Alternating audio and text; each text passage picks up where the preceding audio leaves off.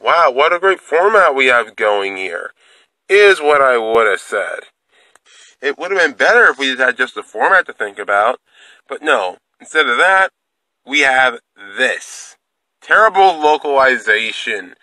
It was so freaking bad. I just couldn't play the game for about a week. And you're probably wondering, what localization could possibly be this bad? Well, let's make it quick and painless. Let's go ahead and talk about this. Monster Reborn Reborn? Really? Selective Reborn was a way better name, but it wasn't that bad. I mean, at least compared to what Skyfang Brigade got. I mean, are they, why are they called for hire now? Why?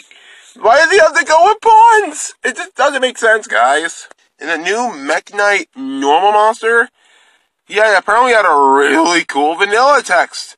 I mean, if you look in Japan, that's a really cool text. But here it says, check this out! That, why? It's just, why?